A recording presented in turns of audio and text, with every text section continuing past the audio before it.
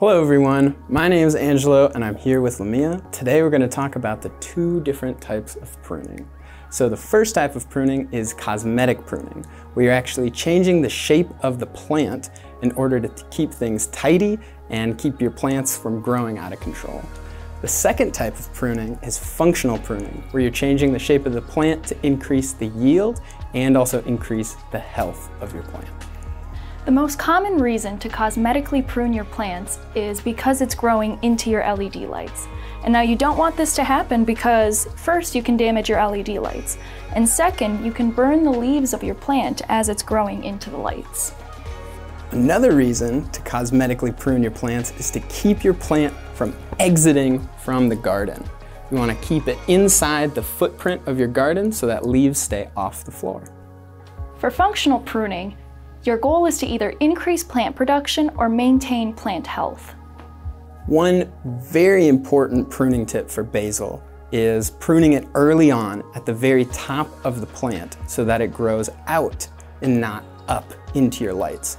And how you want to do that is simply cutting the very topmost leaf set just like that. Another functional pruning technique requires you to think about your plant's resources. For example, in tomato plants, when your leaves start to die off and yellow, what that means is that it's allocating its resources towards the growing fruit. And now you just want to follow your plant's lead and help it out by cutting off the dying stems. Another way to think about this is with your fruit and your flowers. So the same thing as Lamia just said goes for those organs as well. If you see that your tomato fruit is not ripening, um, it might be because the resources are being allocated to the flowers. So as long as you have enough flowers, you can actually cut those off to send resources to the fruit. Lastly, and potentially the most important reason to prune your plants is because these dead and dying matter can fall into your holes in your trays and create mold and attract pests, which is something we do not want. So make sure to always check the bottom of your plants for any dying leaves and stems. So you may be thinking, all these tips are great and they're just so wonderful, but how do you actually cut the plant in order to prune it correctly? Um, so what you want to do is locate the stem that you're about to cut. And as close as possible to the base of the stem, you want to cut it right there so there's no extra stem left on that plant.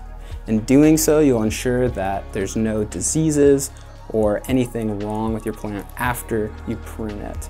And you wanna make sure that you're only pruning your plant like once or twice a week so that your plant has enough time to recover. And it's also very important to know that you should follow the 80-20 rule. What this means is that you're only gonna harvest 20% of your plant at a time. This will keep your plant healthy and happy, and you will be healthy and happy once you eat that plant.